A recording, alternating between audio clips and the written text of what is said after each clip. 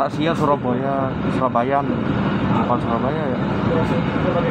Ini stasiun relokasian dari Semelaran dan nggak ada kereta yang berhenti di sini.